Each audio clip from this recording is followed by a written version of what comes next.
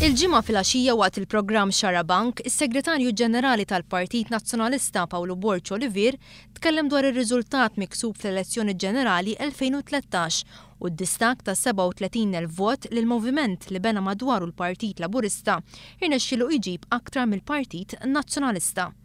Pawlu Borg Olivier qal li r-riżultat, b'mod partikolari d-distakk ta' 37,000 vot, ixxokkja lill-Partit Nazzjonalista.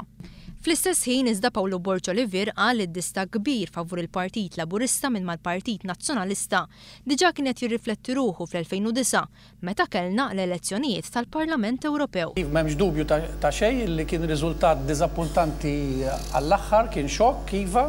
Kien riżultat li rrifletta wkoll dak ir-riżultat li kiseb il-Partit Nazzjonalista fl-elezzjonijiet tal-Parlament Ewropew. Pawlu Borg Olivier qal li l-Partit Nazzjonalista spiċċa maqtugħ mir-realtajiet minħabba l-problemi interni tiegħu. U l-focus tal-partit, sfortunatament ngħid u jien ngħid li llum ħallasna prezz qares, ħarisna iktar lejn l-istampa l-kbira Milli lejn l-istampa ż-żgħira. Ma ninsewx ukoll id-dissent intern illi kien hemm fil-partit u allura konna iktar qegħdin inħarsu, sfortunatament, intern fil-partit milli 'l barra mill-partit. Fl-aħħar jiem diversi esponenti tal-Partit Nazzjonalista bħal Robert Arrigo, Mario de Marco u Jean Pierre Farrugia ħarġu jikkritikaw il-mod li qed jopera bih il-Partit Nazzjonalista.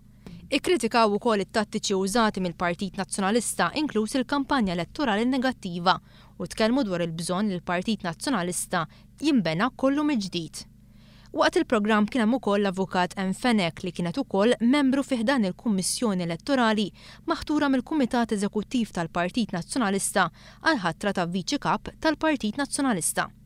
Anne Fenech ippruvat tneħħi r-responsabilità minn fuq Simon Busuttil għar-riżultat miksub mill-Partit Nazzjonalista fl-elezzjoni ġenerali. Mela dan l-attakk għalfejn? U jiena. Għax huma qed jgħidu, isma' dan huwa parti, kien parti minn din it-tkaxkira, mhux hekk? Intant fl-aħħar sigħat iltaqa' l-Grupp Parlamentari tal-Partit Nazzjonalista.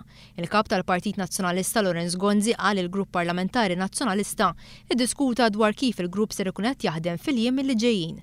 Mistoqsi dwar l-elezzjoni għall-ħatra ta' Kap tal-Partit Nazzjonalista, Lawrence Gonzi qal li dan se jkun deċiż mill-Eżekuttiv tal-Partit Nazzjonalista.